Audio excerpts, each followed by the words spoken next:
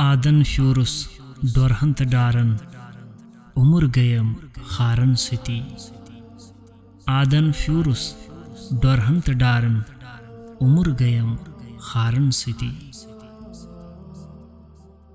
वुदकों रूदुस सनवनी पहरन देवल खानम सितारन सिती वुदकों रूदुस सनवनी पहरन देवल खानम सितारन सिती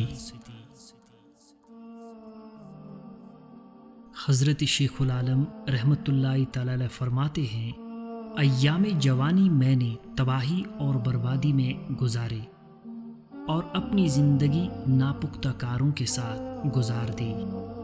अफसोस इस बात का है कि मैंने ज़िंदगी हर लम्हा बारगाह खुदाबंदी में क्यों न गुजार दी।